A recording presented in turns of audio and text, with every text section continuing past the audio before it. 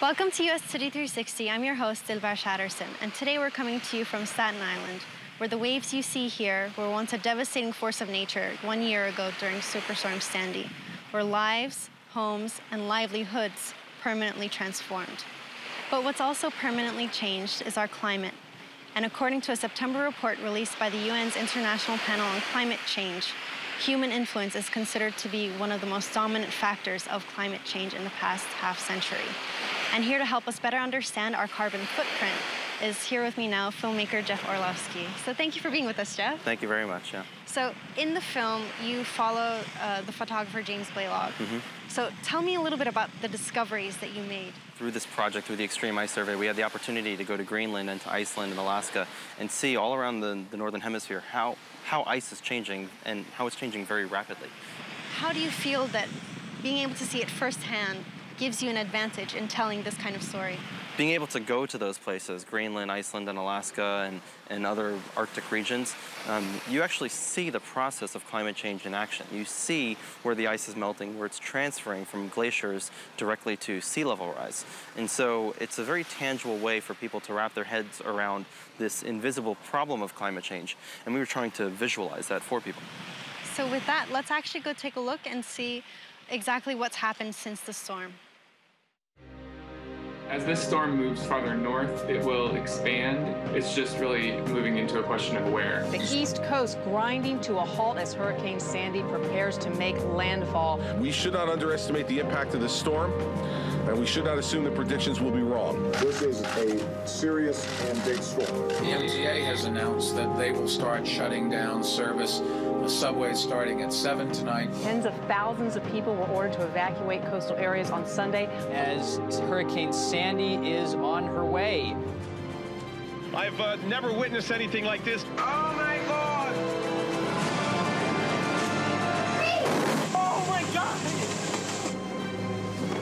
What the hell is this?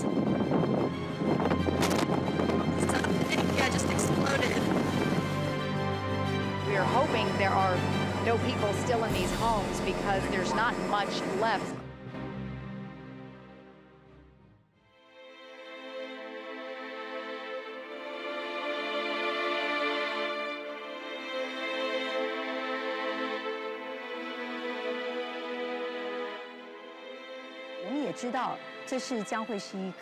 We knew that Hurricane Sandy was going to be serious. The city also gave warnings for previous hurricanes, and then they didn't cause serious damage. But when I woke up in the morning, Chinatown called and said they established an emergency relief center.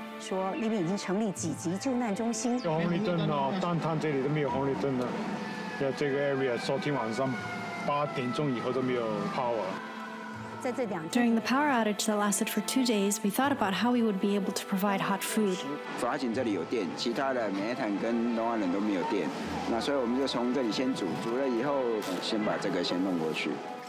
Someone from the office called me and said, hey, we need people to help out in Chinatown, where we have to cook in the dark. And then we have to bring the food to the shelter. That's my very first shooting of Sandy. We received a call from the Red Cross indicating that in Staten Island, areas neighboring the ocean were in critical condition. Brother George leaded us to those areas to investigate the extent of damage.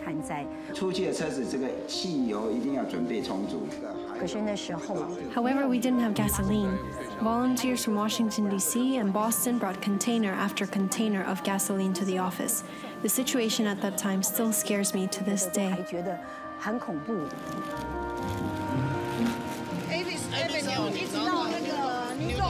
诺，好，这整个区都是，几乎都全部水都淹进来了嘛。It was devastating. The Salvation Army and Red Cross had mentioned that hot food would be needed. We brought with us 300 servings of egg soup on our first trip. We bring it from Queens. Anyone need a hot soup? They're all cleaning up their home. In such cold weather, what they needed most was something warm. Good, very good. Sir, you want some soup? No? You had enough? We were going to distribute hot food by Far Rockaway. When we got there, we saw a mountain of clothes. People from all over the country have been driving truckloads of clothes and food down here. We are so grateful to everybody who has come down. Your organization, if our government forgets us, our neighbors aren't going to forget us. By the shore winds always gush. How do we work without power? Fortunately, at that time, DC volunteers sent over a generator. 职工很努力的在架设这个灯，因为在这里没有电，没有电的状态之下，又要能够进行发放的工作，真的是很不容易。Thank you so much, Mama. Thank you so much. Thank you. 我们觉得做的并 We felt we haven't done a lot. However, we wished to do as much as we could, so we came to help. Everyone knew it would be very cold, but I felt warm in my 我 heart. At the time, Brother George started communicating with U.S. headquarters, and we established an emergency relief center in the eastern region. All the funds we give come from individual contributions. Tzu Chi volunteers around the world worked hard to fundraise for us, so we had to use each penny carefully. We had to plan how we would distribute the goods to the victims. The reason you are here is we are looking for vulnerable households that we can continue to help them. So we figured out we need your help. All these COA volunteers, they are hurricane victims too. This gives us an opportunity to go to their communities and do some distribution. They know Tzu Chi, and they want to do something like what we do, giving back to the community. Good!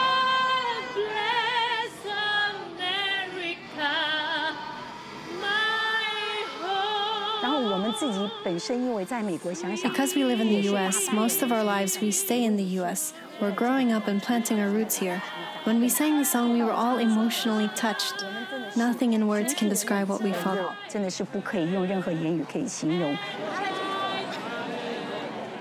because we are all families. Today, if we can connect all ethnicity groups and can unite as one, we have to do it from our communities to have everyone connecting physically and emotionally, regardless of differences in culture and ethnicity. We have to let them feel love, compassion. I believe America can awaken and can help its neighboring countries in need.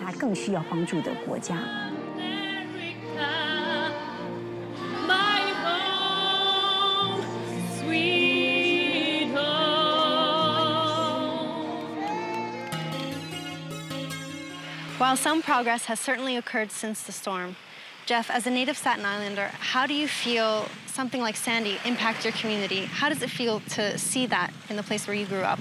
Everybody got to see a lot of horrific footage coming out of Sandy. Um, we were in New York releasing Chasing Ice right about that time as well, which was kind of shocking the juxtaposition of our film about climate change and, and seeing the real tangible consequences of climate change happening. You know, it, it was devastating to see these impacts happening to places where I grew up. Um, the, the pond nearby where I spent my childhood kind of learning how to fish in that pond, it's not there anymore. It completely was breached by Sandy and it's just all salt water now. Um, these consequences happened all across Staten Island, all across New York City, and it's, it's having real impact on people's homes and people's families. To some degree, it's sad, but it requires events like this for people to understand what climate change means and what kind of impact it's going to have. Now, in trying to alleviate some of the issues that come as a result of natural disasters, uh, Master Cheng Yen has often said, we are running out of time. Yeah. And there's a moment in the film where it mentions, we have no time. Yeah. So what's your take on time? We, we're already seeing the consequences of climate change. There's been a, a five-fold increase in natural disasters in North America in the last 30 years. As people, as citizens of this planet, we're seeing consequences of man-made climate change already.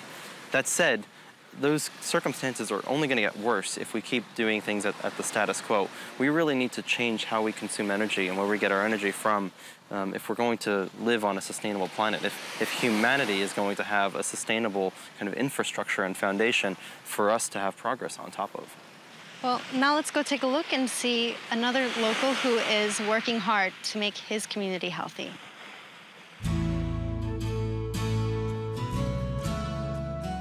The first cleanings that I did were knocking on doors and uh, having to be uh, have doors slammed on me, or sometimes people were afraid because there were so many people stealing and from victims of Hurricane Sandy, they were lying to them and taking their money. So it was very difficult. Hola, Natalia. Yo me llamo John Reyes. Very frustrating, people closing the door. Here's a six foot four man of color representing a Chinese organization. Somehow it didn't fit. ¿En qué manera le podemos ayudar nosotros? De Tzu Chi somos una foundation internacional. But knocking on doors and finally gaining entrance, letting them know what Tzu Chi was all about, how we want to help the victims of Hurricane Sandy. And then after one of them was helped, then they would spread the word to their neighbors and it made it a lot easier. Yo me llamo John Reyes, soy de Tzu Chi. Nosotros no este, compartimos esta información con el gobierno. More than 100 screenings, 110 or so, and that is me taking the paperwork from the home screening, taking it back to the office, turning it in, and they review the information. I call them back, make a date to visit them, and then I come with two or three commissioners, volunteers, and I'm briefing them on the information before we get to the first home visit. Okay, here we go. We're here. Would you mind to tell us about this case? The name is Natalia Perez. They just had a baby. First home visit, I become a translator, translating from English to Spanish, from Spanish to English. The commissioners can ask questions based on the information that I wrote, and they can ask additional questions so that they can determine what is the need of this family and how can we help them. It's right around this corner. Right around the corner. It's court, right? I think this is the first That's right. court. Yes.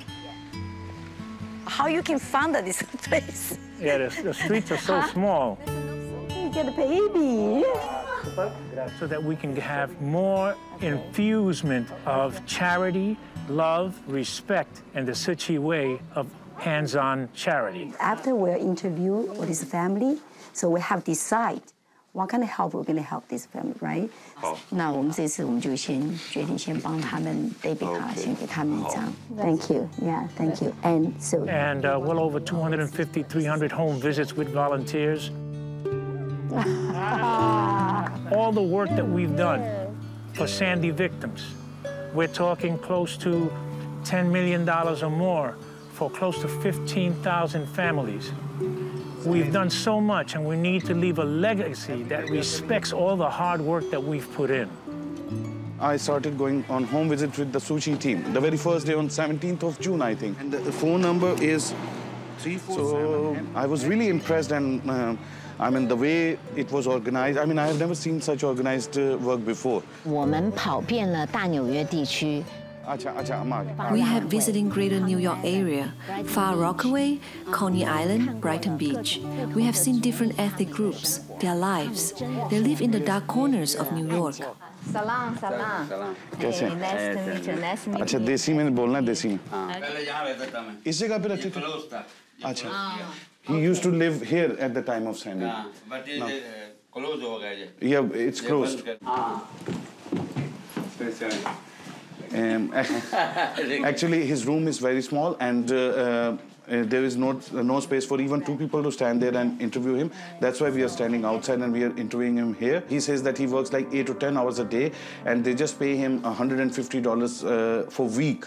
He's basically uh, paying with this room like $500 for this small room. I mean, we, we came to know about his story, how he has to send back his family back to Pakistan after uh, Hurricane Sandy because he has no place and uh, he lost everything over there. Sometimes he has to send them like 200 or 300 dollars but uh, when he is out of money he cannot even send them those money. So they are living there they are uh, on their own right now. It's not the first time. It's i think second time i'm visiting him. Uh, at his uh, workplace i visited him twice. I just wanted to see how he is working and what are the conditions in which he's working. They're really very tough. I felt like if anything i can do in any capacity so that he can be helped in one way or the other his life can become a little bit more easier if I can do anything, believe me, if anything is in my hand, I'm going to do that. Uh, teacher, Lydia.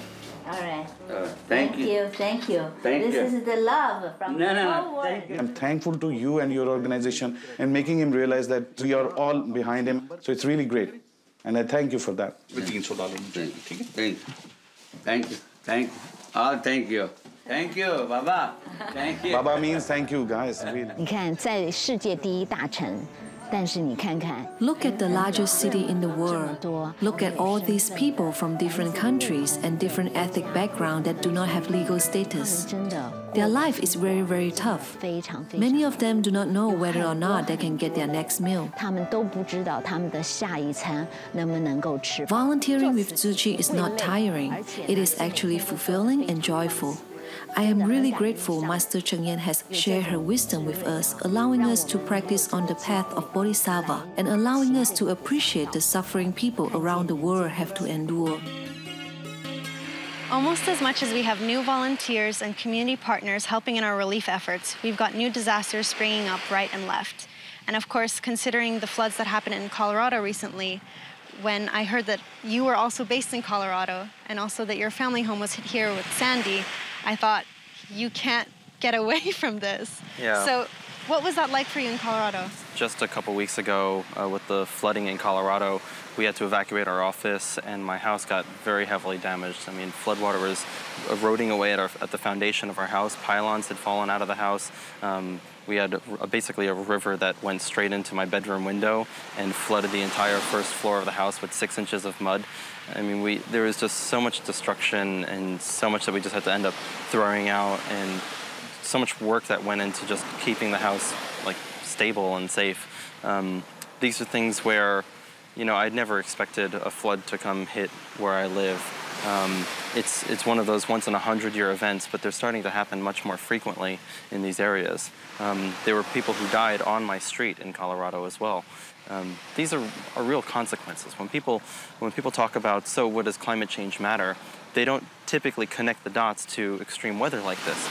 They think that, oh, we've, we've always had hurricanes and storms, but they don't typically understand that we're making them worse right now. So actually in connection to Hurricane Sandy and also to the floods that happened in Colorado, those two natural disasters, there's actually a gentleman here in Staten Island who went to Colorado and also tried to apply the knowledge that he learned in Sandy there. So let's go take a look at him now. My name is Mike Hoffman. I live on Staten Island. I currently work as a co-founder and board member for Yellow Boots Disaster Relief and uh, assist the people affected in tragedy. Being that the way Sandy hit us, we're very familiar with the way floods and the, the different effects and one of the main missions of Yellow Boots was to be able to respond and educate so other people aren't left dealing with it, not knowing anything the same way we were. So we took that knowledge, we brought it to Colorado to educate them, most specifically on you know the threats and the handlings and the preparedness and how to prevent you know major mold issues. You know, it's just lack of information. It's not common day knowledge. You know, you, you, you don't learn about mold and, and, and things like that on a regular basis unless you're a scientist. Well, Sandy helped change my career. Sandy took my job. So Sandy left me unemployed, and there was people in need. And I've said this before, there's certain times in your life where there's just a switch that clicks in you as a human being to, to do a more humanitarian thing, and there's things that are bigger than you yourself. You look at the hundreds of people in earshot that are affected, that were devastated, and you, you can't just sit back and do nothing. So uh, we came together on 9-11 to create a memorial for those that have passed during Hurricane uh, Sandy. You know, and people who come to visit can see the symbolism of how Staten Island came together strong and to overcome and to still keep, there's still the work that's ahead that we're still doing going on. But to basically, to get people over the hump and to start getting everything back to the new normal. That's not happening. But between immediate needs all the way to restore, we've touched over 2,000 homes. Whether it be we provided them with clothing and, and furniture, you know, by connecting the dots to doing the demo, to doing the mold remediation, to rebuild, to providing material so they can get the rebuild done. You know, we've touched homes in many different ways. My name is Jason Vogel. I'm a local on Staten Island from South Beach, and I'm helping rebuild someone's home, get some kids back in the house for the one-year anniversary of uh, Hurricane Sandy. Yeah, I've been here pretty much every day since day one using the skills that I, have known and also the skills that I've learned through other volunteers that have came out to give us a hand in helping rebuild people's homes. No money, no days off, but I have a good feeling in here. You know, it, it doesn't pay in money, but, you know, inside, you know, changing people's lives, that's, that means a lot more to me. This lady, she was ready to give up on the house, just throw the keys in the mailbox and walk away. And we gave her hope. My name is Maria Piazzio, and we're in the living room of my home in New Dorp Beach. Rip everything out, everything. So every single thing, appliances, floors, walls, furniture, garbage. Because of, of Yellow Boots, Jason and Mike, it's been gutted. The roof was fixed. Um, sheetrock was donated. Insulation was donated. Um, it was demolded twice. So it's getting there, but it's a long process and it's just being done by volunteers, so it's a lot on their shoulders. There are no words. You, they are the difference between coming home and never getting able to come home. Um, they're the difference between hope and no hope. And they're family now. I mean, even when the house is built, they will always be a part of our lives. Like when they're finally back home and they're like, they can like, you know, actually put the mailbox back up and get the mail and cook a meal at home, that's, it's great. You know, it's, it's fulfilling. You know, you made an impact and it changes someone's life. The White House Champions of Change, receiving that honor meant a lot to me, not because of the, the title, but more so because it was my peers and the people that I helped that nominated me. You know, that means I touched that person's life enough for them to take a moment out of their time and be thankful. And it means I did my job. And I have a great team around me, and we all have the same mission in mind, you know? So even though I was the one sitting in the chair, I represent the masses. So, Jeff, with all that's happened with Hurricane Sandy in Colorado and also with what you've witnessed in uh, making the film Chasing Ice, what would you say is one of the biggest things that you learned from, from all of this? That climate change is a man-made problem, but it's also a man-solvable problem. Yeah, both myself and our whole team, we've really actively done as much as we possibly can to, to minimize our footprint as well. Um, the film is carbon neutral through a sponsor that has helped us out with that. Um, I think eight different people on the team have switched over to driving hybrid cars. Two of them are driving electric cars. So it's something where we're really trying to be as conscious as we can. Speaking of the reality of chasing ice, uh, at the very end, there's a time-lapse sequence. Tell us a little bit about that. Yeah, we show at the end of the film a bunch of different glaciers and what we've seen over the past four, five, or six years that we've been documenting them. And it's really powerful to watch as these glaciers are changing very quickly before your eyes. There's one glacier in particular, we show an animation where the glacier has retreated more in the last decade than it did in the last century prior to that. And when you start thinking about what those changes mean. Yes, glaciers have been changing for thousands and thousands of years, but we're seeing now that it's changing faster in 10 years than it did in 100 years. And this is representative of what's happening to a lot of different glaciers all around the Arctic. They're changing much faster now than they ever had before, and that's where people start understanding the, the consequences and the significance of it. And what is your hope for Chasing Ice? My hope is that if, if the film can shift opinion and can change people's hearts and minds about about climate change, about this issue, and if they can start to understand it in a, in a, way that hits them emotionally, then I would consider that a success. And we've seen, we've heard so many stories of people being really impacted by the film. We just want to continue that outreach and that impact. So thank you very much, Jeff. I really appreciate you being here with us today, especially to help honor the victims of Hurricane Sandy and also the anniversary of the storm. Thank you very much. And thank you for being here with us since our first report since the storm. I'm Dilbar Shatterson, and from Staten Island, we'll see you soon.